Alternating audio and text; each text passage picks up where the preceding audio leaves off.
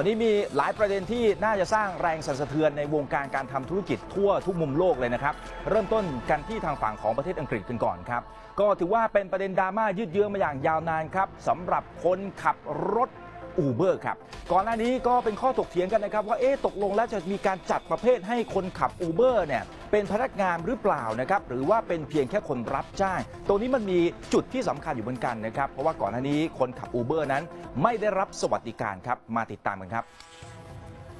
สารดีกาอังกมีคำตัดสินที่เป็นเอกฉันให้ทางฝั่งของ Uber ครับ ซึ่งก็เป็นผู้ให้บริการแอปพลิเคชัน เรียกรถรับส่งของประเทศสหรัฐอเมริกา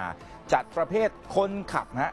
ให้ตอนนี้เนี่ยนะครับกลายเป็นพนักงานไม่ใช่ผู้รับจ้างอิสระ ซึ่งก็ถือว่ามีนัยสำคัญอยู่พอสมควรนะครับ แล้วก็ตรงนี้ครับคนขับรถ Uber สามารถออกมาเรียกร้องค่าจ้างขั้นต่ำได้แล้วนะฮะแล้วก็การขอวันหยุดก็สามารถขอได้ แบบที่ได้ค่าแรงจากบริษัทด้วย โดยทางด้นของสารดีกาอังกฤษก็บอกถึงเหตุผลที่ตัดสินให้คนขับของ Uber ไม่ใช่ผู้รับจ้างอิสระ เนื่องจากว่าการทำงานของคนขับนั้นถูกกำหนด และควบคุมจาก Uber อร์อย่างเข้มงวดมากครับ ไม่ว่าจะเป็นค่าโดยสารข้อกำหนด เงื่อนไขต่างๆ ที่คนขับเองต้องปฏิบัติตาม ในขณะที่รับบริการครับอย่างไรก็ดียังไม่เป็นที่ชัดเจนครับว่าความตัดสินนี้ของสารดีกาอังกฤษ จะส่งผลกระทบต่อรูปแบบการดำเนินธุรกิจของ Uber ในอังกฤษหรือไม่ แต่ว่าขั้นตอนต่อไปศาลอังกฤษก็จะมีการตัดสินว่า Uber จะต้องจ่ายเงินชดเชยให้กับคนที่เรียกร้องค่าเสียหายหลายสิบคนอย่างไร อันนี้ยังถกเถียงกันอยู่นะครับในขณะเดียวกันอีกด้านหนึ่งคดีฟ้องร้องต่อ Uber ในอังกฤษรอบนี้เกิดขึ้น หลังจากที่ทางด้านของคุณยาซีนอัสลัม แล้วก็คุณเจมส์ฟารา ซึ่งก็เป็นอดีตคนขับของ Uber ยื่นฟ้องต่อศาลโดยอ้างว่าเขาเป็นลูกจ้างของ Uber ในปี 2559 ครับ แต่ Uber กลับปฏิเสธว่าคนขับเนี่ยเป็นลูกจ้างอิสระ แล้วก็รับงานด้วยตัวเอง เพราะฉะนั้นบริษัทจะไม่รับผิดชอบนะฮะต่อเรื่องของค่าจ้างขั้นต่ำรวมไปถึงค่าจ้างในช่วงวันหยุดแล้วก็สวัสดิการอื่น ๆ นั่นเองนะครับนอกจากนี้คำตัดสินของศาลฎีกาอังกฤษก็มีขึ้นเพียงแค่ไม่กี่เดือนเท่านั้น หลังจากที่แคลิฟอร์เนีย ลงมติให้ Uber และบริษัทกิ๊กอีโคโนมีอื่น ๆ ได้รับการยกเว้นจากกฎหมายของรัฐบาล ที่กำหนดให้พวกเขาจัดประเภทคนขับเป็นพนักงานครับ